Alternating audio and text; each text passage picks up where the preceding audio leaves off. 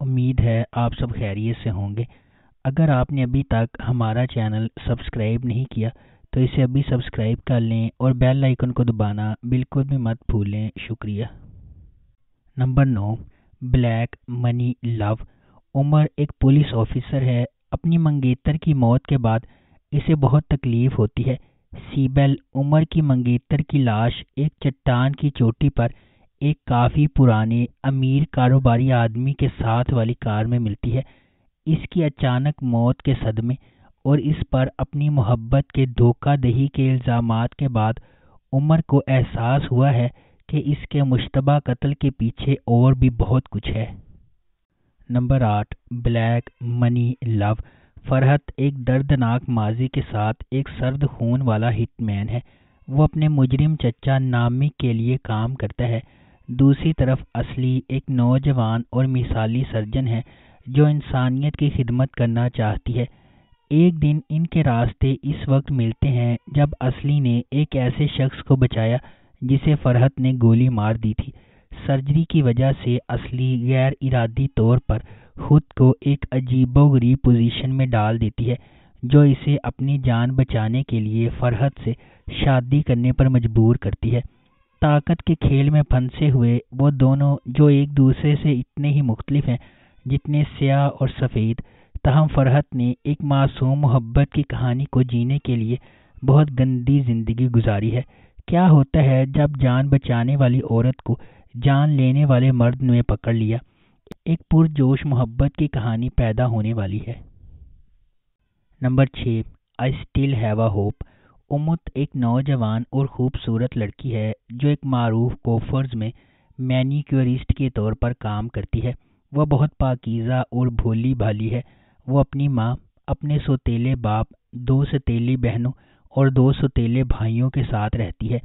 इस ख़ानदान में उमुत सिर्फ़ अपनी माँ जैलिहा और अपने छोटे भाई की देखभाल करती है। उमुत की ज़िंदगी बिल्कुल सिंड्रेला की तरह है। इसकी सौतेली बहनें हमेशा इससे हसद करती हैं। वो घर का कोई काम नहीं करती, जैसे सफ़ाई, खाना पकाना वगैरह। आम तौर पर उमुत और इसकी वालिदा घर के काम करती हैं। इसके अलावा उमुत को इसके सौतेले वालिद जफ़र और इसके सौतेले भाई मूसा के ज़रिए मुसलसल ज़्यादती का निशाना बनाया जाता है। जफ़र ख़ानदान का सरबरा है, लेकिन वो फिर भी शराब खरीदने के लिए उमुद से तनख्वाह माँगता है। दूसरी तरफ़ मूसा एक कदामत पसंद लड़का है, जो नहीं चाहता है कि इसकी बहनों का कोई बॉयफ्रेंड हो। इस खानदान में उमुत अब भी अपनी उम्मीद खोने की कोशिश नहीं करती है। एक दिन इसकी ज़िंदगी काफ़ी बदल जाती है, जब वो खालिश इत्तफाक से, उजान से मिलती है, जो अमीर, नौजवान, खूबसूरत और वीमनाइजर है। वो पहली नज़र में एक दूसरे से मोहब्बत करने लगते हैं। नंबर छः। डे ड्रीमर सैनम एक फितरी, खुश मिजाज और ज़िंदा दिल नौजवान लड़की है, जो अपनी बड़ी बहन लाले के बरक्स छोटी उम्र से ही हर सुबह बहुत जल्दी ग्रोसरी खोलती है। जब सैनम ने देखा कि वो काउंटस में मुलाजम की तलाश में है, जहाँ इसकी बहन काम करती है तो वो नौकरी की दरख्वास्त दे देती है और इसके बाद वाक़ात शुरू होते हैं। मैगज़ीन के बॉस अज़ीज़ के दो बेटे हैं, जान और एमरे। एक बार जब वो इस जादू पर काम करना शुरू कर देती है कि सैनम बहुत अच्छी तरह से काम नहीं करती है तो कोई खुद को दिलचस्प वाक़ात में पाता है।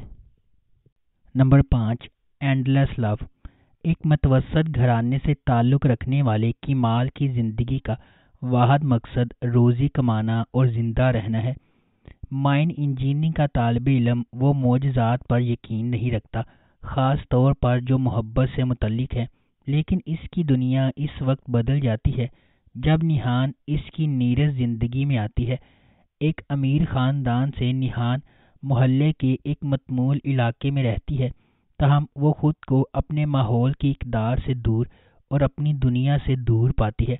तकरीबन नामुमकिन केमाल और निहान की मोहब्बत इनके अख्तलाफात को पीछे छोड़ देती है और वो इस वक्त तक साथ रहने का इंतज़ाम करते हैं। जब तक कि केमाल को इस्तांबुल छोड़कर जोंगुलदा की एक कान में काम करने की ज़रूरत नहीं पड़ती। इसके फ़ौर बाद निहान ने अमीर ताजर, अमीर कोजूलू से शादी कर ली, जो बचपन से ही इसकी मोहब्बत में गिरफ़्तार है। पाँच साल बाद कान का एक गैर मुतव हादसा केमाल के लिए एक नया रास्ता तैयार करता है। एक जो मुकम्मल तौर पर बदले हुए केमाल को वापस इस्तांबुल ले जाएगा। ताकि निहान, अमीर और हर इस चीज़ का मुकाबला कर सके जिसने इसे पीछे छोड़ दिया था। इसकी तकदीर इसे अपने अधूरे कारोबार को मुकम्मल करने पर मजबूर करेगी। नंबर चार, ब्रेव एंड ब्यूटीफुल। सीज़र अपने वालिद की मौत का बदला लेने के लिए एक वसी मंसूबे के साथ अपने वालिद के गाँव वापस आता है। सिर्फ़ एक चीज़ जिसके लिए इसने मंसूबा बंदी नहीं की थी वो है सुहान। इस शख्स की बेटी, जिसके बारे में इसे यकीन है कि वो इसके वालद के कत्ल का जिम्मेदार है। नंबर तीन, रेंटल लव। डेफने एक गरीब लड़की है, जो अपनी नानी, भाई और बहन के साथ रहती है।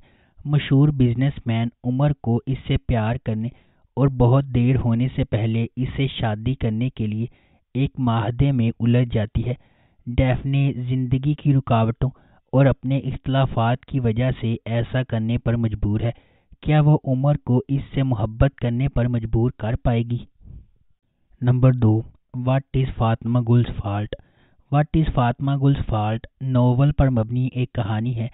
ये सीरीज़ फातमा गुल और कैरिम के गिर्द घूमती है, जो मरकज़ी किरदार हैं। फातमा गुल जो कि एक छोटे से शहर की लड़की है, एक रात शराब और मंशियात के नशे में तीन लड़कों ने इसे ज्यादती का निशाना बनाया। कैरिम जो अर्दवान सेलिम और वराल का दोस्त है, वो भी इस मौके के दौरान मौजूद था। कैरिम ने इसमें कोई हिस्सा नहीं लिया, लेकिन वो पछतावा महसूस कर रहा है, क्योंकि वो इस वाक़े के वक्त मौजूद था। बाद अजा वकील, चचा और अमीर लड़कों के वालदेन फातमा गुल पर दबाव डालते हैं कि वो कैरिम से शादी कर ले। इसकी भाभी को रिश्वत देकर फातमा गुल के पास मुस्तफ़ा की माली आनत है, जो फातमा गुल और कैरिम से इंतकाम लेने के बाद है। इससे ये जोड़ा अपना आबाई शहर छोड़कर इस्तांबुल आ जाता है। कहानी इस वक्त मजीद पेचीदा हो जाती है, जब कैरिम को फातमा गुल से मोहब्बत हो जाती है और वो अपने रेप करने वालों के खिलाफ जंग में इसका साथ देती है। नंबर एक, फॉरबिडन लव। तुर्क अदब के अबाव इजदाद में से एक हालिद ज़िया यूकलीगल के क्लासिक नावल की जदीद अडेप्टशन ये कहानी ज़िया गुल के ख़ानदान के गिर्द घूमती है। ख़ानदान का सरप्रस्त अदनान एक अमीर ताजर है, जो इस्तांबुल में अब नाए बासफोरस के साहल के साथ एक तारीखी हवेली में रहता है। एक दहाई कबल अपनी बीवी के खो जाने के बाद अदनान ने अपनी ज़िंदगी, अपनी बेटी निहाल और अपने बेटे बुलंद के लिए वक़फ़ कर रखी है। वहाँ इसका एक यतीम भतीजा बहलोल भी रहता है, जो कॉलेज जाता है। सबके बीच में एक खूबसूरत नौजवान औरत, जिसका नाम भीतर है, अदनान से शादी कर लेती है और इसकी नई बीवी बन जाती है, जो इसकी माँ फिर दोस्त को पीछे छोड़ती है। तहम बहलोल और भीतर थोड़ी देर के बाद शिद्दत से एक दूसरे से मोहब्बत करने लगते हैं। इनकी खुफिया मोहब्बत जल्द ही घर के अंदर हर एक रिश्ते की अंदरूनी हरकियात को हिला कर रख देती है।